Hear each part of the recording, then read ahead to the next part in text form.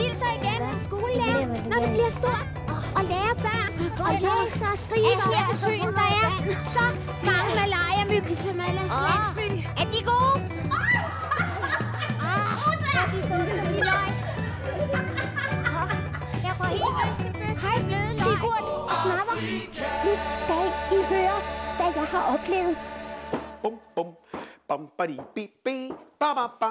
Bam, ba, ba, du, bum, bi. Ej, er jeg god til at gå på stylter. Di, di, di. Da, ba, da, ba. Hey, Snapper! Snapper, hvad er der dog? Hvad er der? Hvad er der? Snapper, hvad er der sket? Er der sket her? Ej, jeg, jeg henter lige. Jeg henter forbindingskassen. Åh, oh, hvor er den henne? Hvor er den henne? Kommer nu, jeg kommer nu, jeg kommer nu. Jeg tror, det er ude med mig. Hvad for noget? Ej, nej, nej, men snapper. Rolig, rolig. Hvad er der dog? Hvad er det dog? Men hvad er der galt? Åh, det var også dig! Det var også dig, der ville have, at jeg skulle prøve de gamle stylter, Sigurd. De er så ej, gamle, at man ikke engang gå på dem uden at brække på arm og ben. Ej, men vil du have, rolig, rolig, rolig, rolig. Du har det jo hverken brækket armen eller ben eller noget som helst. Jo, det tror jeg. Kan godt se, jeg kan godt se, at du har slået din arm her lidt. Jeg kan godt se det. Okay. Nej, jeg giver dig lige en forbinding på nu, ikke også? Ja, Ja. det synes jeg, det må, det, det må du i hvert fald gøre. Ja. Ej, jeg vidste jo ikke, det var sådan nogle dræberstylter. Ej, det er ikke Høj som et højhus. Jeg skal Så. nu køre op i en fodboldkamp i morgen, og jeg kan jo ikke sparke til en bold, når jeg har ondt i min arm. Hør nu Det her. er så. Ja, ved du hvad, Snapper, du kan godt. Ved du hvad? Det er jo ikke sådan, at du er ved at dø, vel? Og det er jo heller ikke sådan, at du virkelig, virkelig, virkelig, virkelig er meget syg. Men jeg kan godt se, at du har slået din arm, ikke også? Og i øvrigt, så synes jeg, vi havde en aftale om, at vi skulle prøve de der stylter sammen. Så hvorfor skulle du op på dem lige pludselig helt alene, var? Åh, jeg skulle bare øve mig. Jeg tror ikke, jeg Det var bare, jeg er jo. sur. Hvad? Åh, Jeg er så sur over, at det her, det skete. Ja, jeg er så, jeg er sur. Nå, men det kender jeg godt. Ja, ved du hvad, jeg kender godt det der med at være rigtig, rigtig sur. En gang, faktisk har jeg engang lavet en sang om at være sur. Kan du huske det? Ja. Det, det er den der, øh, den der, der lyder sådan her. Du kan godt huske den her er sang, så Snapper, ikke også? Den der. jeg er sur i dag. Ja. Sur. Åh, jeg er så sur, så sur, så sur. Sur, sur, sur. Vildt sur. Det hele startede her i nat, da jeg drømte. For jeg drømte nogle meget, meget uhyggelige drømme. Ja, jeg drømte, at der var spøgelser og troldmænd og hekse, og de kom alle sammen gående ind i mit hus. Derfor så blev jeg sur, sur, sur, sur, sur, sur, sur, sur, sur, sur, sur, sur, sur. Uh, Sur, sur, sur, sur. Sur, sur, sur, sur, sur, sur, sur, sur, sur, sur, sur, sur. Da jeg så kom op, så skulle jeg have morgenmaden. Og så var der ikke flere cornflakes.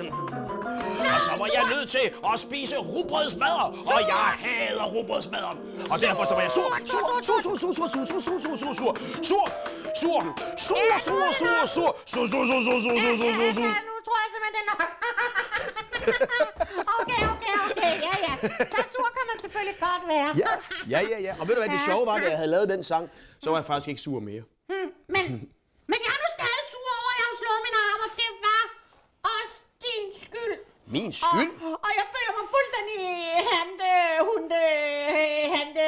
Handicappet. Ja, Nå. Jeg føler mig fuldstændig handicappet lige nu. Ved du godt, hvad handicappet det er? Det er, hvis man, øh, hvis man for eksempel er døv, eller man er blind, eller hvis man ikke kan bevæge sine arme eller sine ben. Hvis der er et eller andet, man ikke kan, som andre kan, det er at være handicappet. Ja, jeg er meget handicappet lige nu. Er jeg det tror rigtigt? faktisk, jeg bliver nødt til at sidde og slappe af og se lidt på Ja. Nå, men ved du hvad? Så får jeg en god idé. Hvis du gerne vil se computer, så kan vi jo prøve at se, om der er en, øh, en videohilsen fra Fætter Topper i Afrika. Ja, åh, oh, fedt Skal vi prøve at se, om der er det? Ja, tror du, Det er ikke sikkert, men altså, han sender... Åh, oh, undskyld, undskyld. Ja, vi lægger den lige så forsigtigt der. Pas på mig. Jo, se, der er en hilsen fra ham. Hej, Topper. Hej, Sigurd og Snapper. Nu skal I bare høre. Jeg har mødt en dreng, der sidder i kørestol. Han er altiders. Han hedder Bota og er 9 år. Her i Afrika er der rigtig mange børn, der har et handicap. Og de får slet ikke nogen hjælp, som hjemme i Danmark. Hvis man er døv, blind eller ikke kan gå og bruger krykker eller kørestol ligesom Bota, så må man tit klare sig uden hjælp. Nogle gange så bliver børnene gemt væk, fordi deres mor og far er flove over, at de har et handicappet barn. Og tit så kommer børnene slet ikke i skole og møder andre børn. Bota har fortalt mig, at hans mor slet ikke kunne finde ud af at passe ham, da han var lille. Så hun gik bare. Men heldigvis, så var der en rar dame, som tog sig af ham. Og hun er i dag hans mor. Dengang, der havde han slet ikke en kørestol.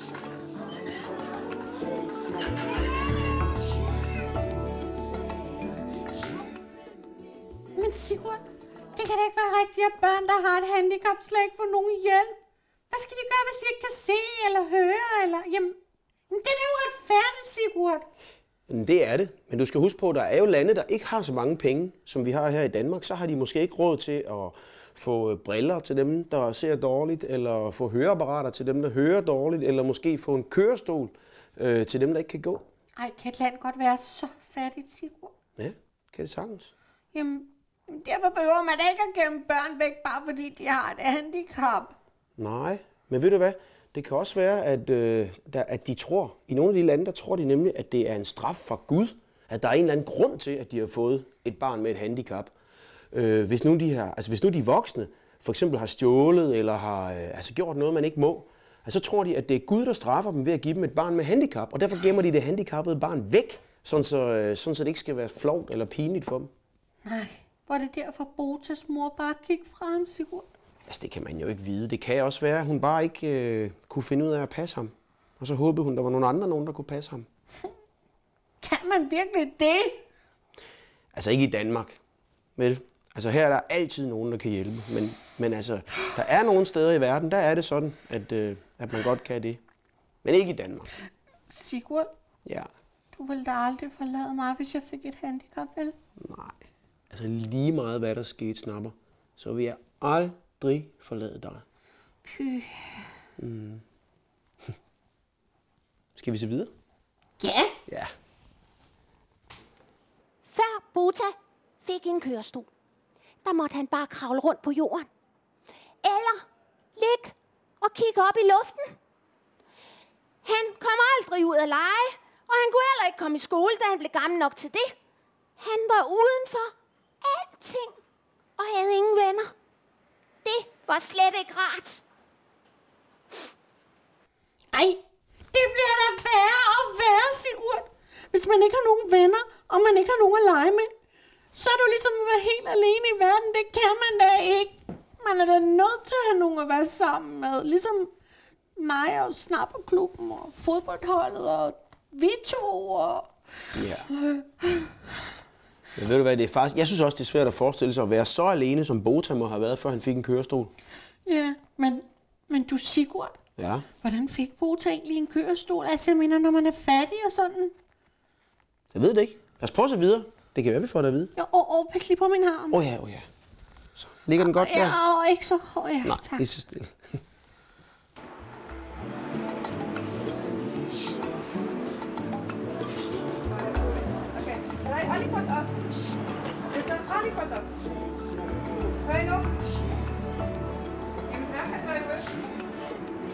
Der kan der er dem, der er i skolen, og de- Bota har fået den flotte kørestol af nogle mennesker, der samler penge ind til at hjælpe børn, der har brug for en kørestol.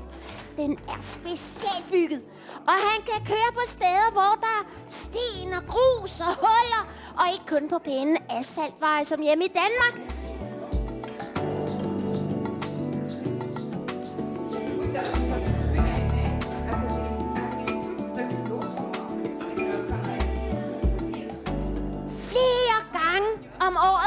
Bota ind og får tjekket sin kørestol.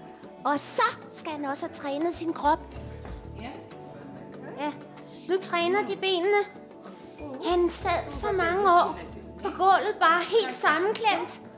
Så hans ben skal lære at strække ud. Så nu er det føddernes tur. Okay. Og benene igen. Det er sig noget fedt. Jeg Det er ligesom, når jeg tager armbøjninger.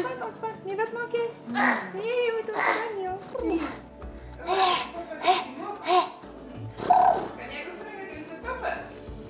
Nie puszczaj Bota!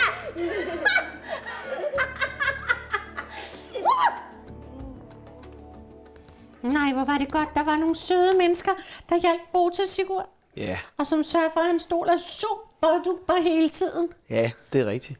Og det er faktisk også vigtigt, fordi hvis man ligesom Bota er nødt til at sidde i en kørestol, så får man jo ikke trænet sin krop helt så meget, fordi man ikke går og løber så meget rundt, øh, som alle andre gør. Og øh, så er det faktisk rigtig, rigtig vigtigt, at man får trænet sin krop, alt det man kan. Ja. Men altså, selvom han ikke dyrker sport, så ser det jo faktisk ud som om, at han er bedre form end topper. Sy- synes du, det er hårdt at lave armbøjninger, Sigurd? Nej, nej, nej. Åh, nej, jeg er simpelthen knaldgod til det. Prøv selv at se. En, to, tre, synes jeg, du får sved på panden. Ja, okay. Ja, Ved du hvad? Prøv en gang, du får lov til at holde en pause. Fordi Okay. nu skal vi lige se lidt videre. Ja, det skal vi da. Men sådan en kørestol, den koster mange penge. Og så mange penge havde hans nye mor slet ikke. Så heldigvis, så fik han en gratis. Ui!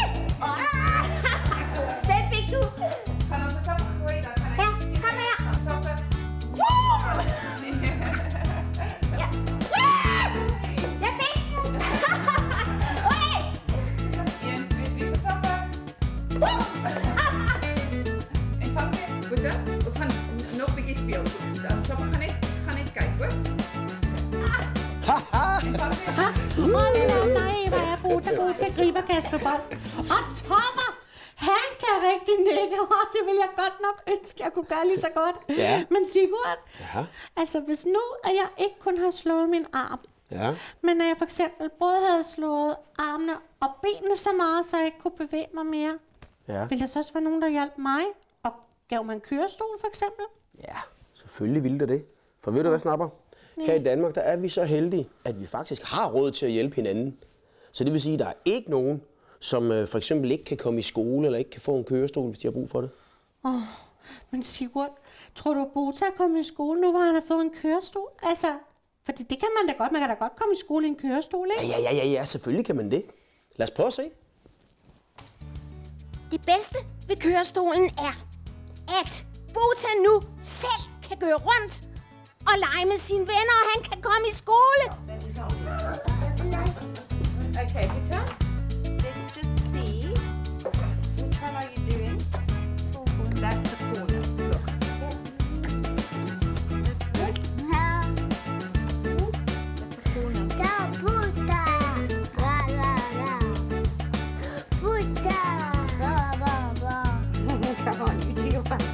worry about it. There we go. Okay.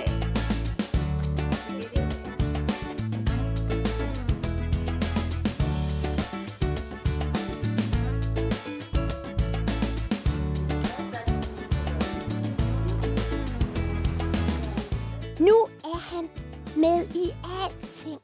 Og aldrig udenfor. Alle hans venner, med, at han sidder i kørestol. De har det da bare sjovt sammen.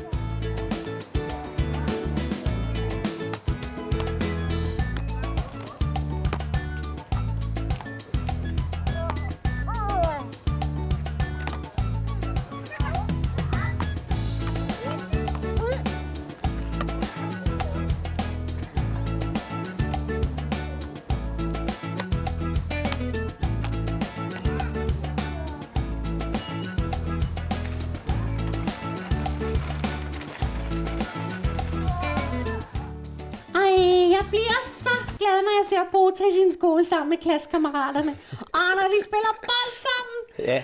Ej, jeg har det fuldstændig på samme måde. ja, for nu er han ikke alene mere, vel? Nej. Og kunne du se, han kunne sagtens gå i skole, selvom han var i kørestol. Ja, Og lagde du mærke til hen på opslagstavlen, der var der det der foto af dengang de var på cykeltur med hele klassen, og hvor han var i en anhængervogn. nej, fatter. ja, så selvom man ikke kan gå på sine ben eller cykle, så kan han godt være med alligevel. Ja, griber du lige bolden? Ja, og, og, og, Ej, ej, ej, undskyld, undskyld, altså, undskyld. Sigurd. Ja, ja, ja. Man skal lige tænke sig om. Ja, ja, det skal man. Oh, men, øh, men jeg tænker på, at der må der være et eller andet, Bota ikke kan, når han sidder i sin kørestol. Noget, han ikke kan? Ja. Nej, det, det tror jeg egentlig ikke. Hvad skulle det være, han ikke kunne? Ja, det ved jeg egentlig heller ikke. Lad os prøve så videre. Nu skal I høre. Bota, han går til dans. Han kan danse i sin kørestol. Han danser med en pige, der hedder Jordan. Og de vinder konkurrencer. Så nu må I hygge jer. Sigurd og Snapper. Jeg skal til dans med Bota. Hej, hej. Så går de i gang med at øve sig. Det er en cha-cha. Så drejer de rundt om hinanden. Se. Virkelig flot sti.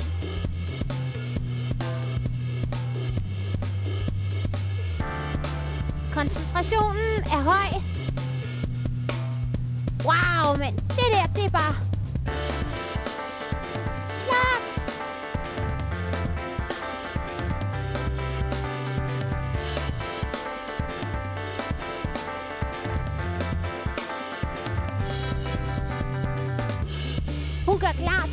forsøg. En meget rytmisk dans. Se de flotte sving, der er.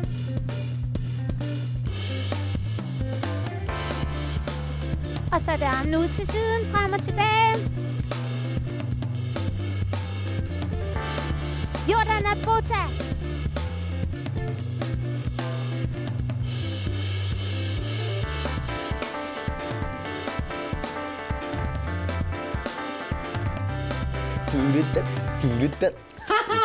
Nej, jeg tænker, han kan danse i sin kørestol.